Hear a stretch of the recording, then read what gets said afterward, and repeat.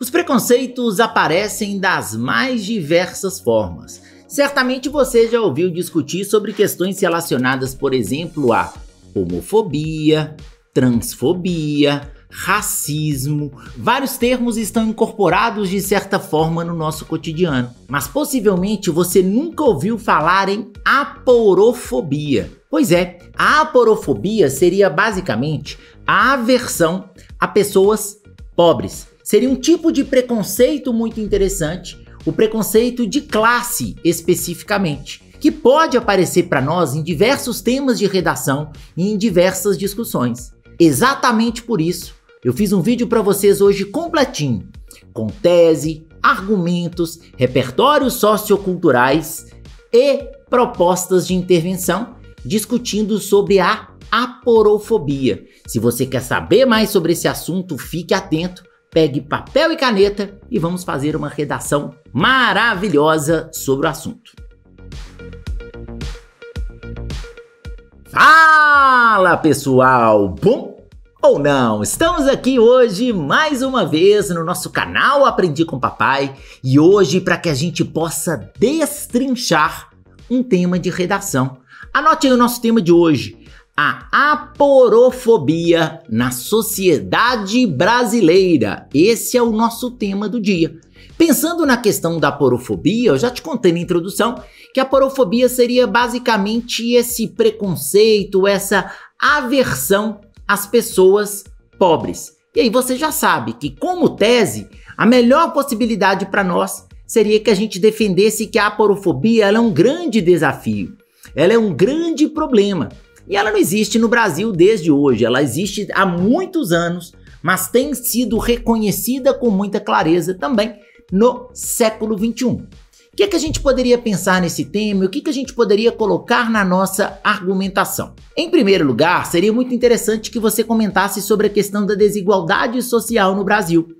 Nós vivemos em um país que tem muita desigualdade. Nós temos poucos indivíduos com muito e muitos indivíduos com pouco. Nós temos uma grande discrepância entre as classes sociais no nosso país. Essa diferença ela faz com que naturalmente tenhamos pessoas que vão se considerar melhores do que as outras, o que é extremamente problemático, mas muitas vezes esse, essa ideia de melhor ou pior tem relação para alguns com a classe social. E é exatamente daí que vai começar a aporofobia. Pessoas que se consideram melhores não só por questões relacionadas à cor da pele, à orientação sexual, mas pessoas que se entendem como melhores que as demais somente por terem um melhor padrão, um melhor poder aquisitivo, o que nós sabemos que é extremamente desafiador. Você pode trazer também na sua argumentação como uma possível consequência da porofobia, uma marginalização, no caso ainda maior,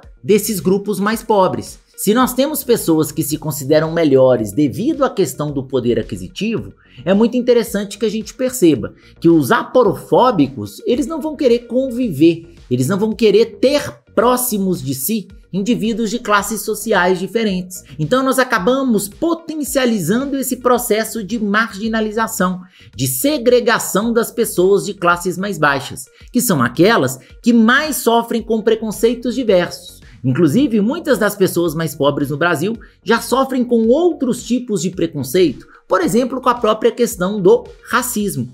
Nós intensificamos por meio da aporofobia a marginalização dos mais diversos indivíduos, o que nós já sabemos que é extremamente preocupante e extremamente negativo. Nós temos como uma consequência interessante que você pode trazer também no seu texto o aumento de conflitos entre indivíduos de diferentes classes e até mesmo o aumento da violência. Se nós temos uma sociedade extremamente aporofóbica, nós podemos ter maiores conflitos entre os indivíduos de alto poder aquisitivo e pessoas de baixo poder aquisitivo, podemos ter vários tipos de violência e várias situações problemáticas. Você pode colocar no seu texto, inclusive, alguns exemplos como parte da sua argumentação. E não nos faltam situações problemáticas para a gente discutir sobre esse assunto. Nós tivemos, por exemplo, em 2020, um conflito entre dois homens chamados Mateus. Um Mateus que vivia num condomínio de classe alta e um Mateus que era entregador de iFood, que foi atender esse outro indivíduo. Nesse caso, o indivíduo que era entregador de aplicativo, por ter demorado com a entrega, ele foi insultado das mais diversas formas. Ele foi colocado em uma situação de inferioridade e ele sofreu também até mesmo agressões racistas desse indivíduo que estava no condomínio. Foi um comportamento altamente aporofóbico que você pode colocar como exemplo no seu texto. Além desse episódio do Mateus, você pode comentar também sobre um episódio ocorrido em São Paulo que repercutiu muito nas redes sociais, que foi a colocação de pedras embaixo do viaduto com o objetivo de fazer com que a população de rua não pudesse ter onde se abrigar. Se nós queremos ter um distanciamento dos indivíduos em situação de rua, se a gente quer que esses indivíduos se tornem de alguma maneira invisíveis, isso é um ato claramente aporofóbico. O maior problema relacionado aos moradores de rua, na visão de muitos, é essa questão da pobreza. E se você resolve colocar pedras debaixo do viaduto para espantar esses indivíduos, nós estamos sendo altamente aporofóbicos. Nessa discussão tem um padre muito bacana que é o padre Júlio Lancelotti, que discute muito sobre essa questão da aporofobia no Brasil. Você pode colocá-lo também como repertório sociocultural Padre Júlio Lancelotti. Nesse episódio, por exemplo, das pedras embaixo do viaduto, o Padre Júlio ele foi lá com uma marreta para quebrar essas pedras e para liberar espaço novamente para esses moradores de rua para eles terem de fato onde se abrigar. Muito interessante, uma luta, né, de certa forma, contra a aporofobia. Esse termo aporofobia, inclusive, ele tem sido muito utilizado também por outros estudiosos. Tem um estudioso brasileiro muito importante que é o Gessé Souza. O Gessé Souza, dentre as suas várias obras, tem destaque para a obra A Elite do Atraso, que ele problematiza muito a questão do comportamento dos indivíduos de classes médias e alta no Brasil. Como esses indivíduos se comportam de maneira aporofóbica em relação a outros grupos sociais. O Gessé Souza comenta muito sobre essa ideia. E ele comenta que o ódio de classes, ele é nada mais nada menos que uma continuação do ódio que nós tínhamos durante o período da escravidão. É nada mais e nada menos que um reflexo desse ódio que nós já tínhamos no período da escravidão. O que não deixa de ser adequado e que seria muito interessante para nossa discussão.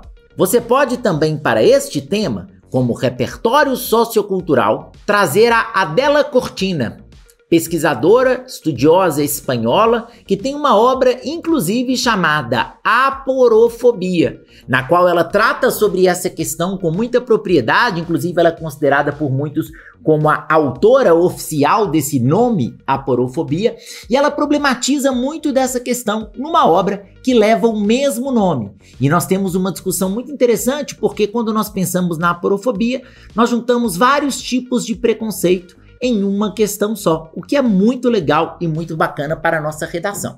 E aí, pensando em tudo isso, gente, você já sabe, se temos vários problemas, se temos vários desafios, nós precisamos das nossas magníficas propostas de intervenção. Então, vamos a elas? Uma primeira proposta de intervenção válida e muito importante seria que nós tivéssemos mais propagandas que discutissem sobre esse tema. Propagandas que problematizassem essa questão da aporofobia na nossa sociedade. E no caso, seria interessantíssimo que o próprio governo federal fizesse esse tipo de propaganda, para que a população pudesse refletir e perceber o quão aporofóbicos nós somos no nosso cotidiano e por que isso deveria ser visto como algo negativo, algo preocupante e algo desagradável. Além disso, você pode comentar, por exemplo, sobre a importância de, da criação de uma lei específica para esse tipo de comportamento e aí você pode colocar novamente o próprio governo federal. Pensa comigo, nós já temos crimes relacionados à homofobia, crimes relacionados ao racismo, crimes associados aos mais diversos tipos de preconceito. Será que não seria interessante que tivéssemos um crime específico falando dessa questão da aporofobia? para que os indivíduos parassem de ter esse determinado tipo de comportamento que é muito preocupante na nossa sociedade? Se tivéssemos uma lei específica tenho certeza que reduziríamos de alguma maneira esses atos aporofóbicos e tão preocupantes no nosso país como um todo. Por último, é interessante que a gente pare para pensar também nas gerações futuras.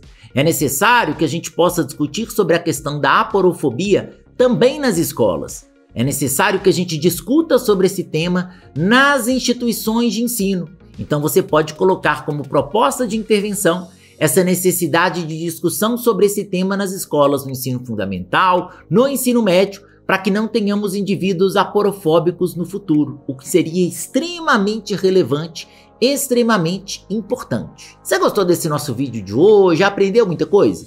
Se você gostou, clica no joinha, não deixe de se inscrever no canal, não deixe de clicar no sininho para notificações e se você quiser depois bater um papo comigo, me chama lá no Instagram, arroba aprendi com papai. Valeu pessoal, um grande abraço, até a próxima. Ei, tchau tchau!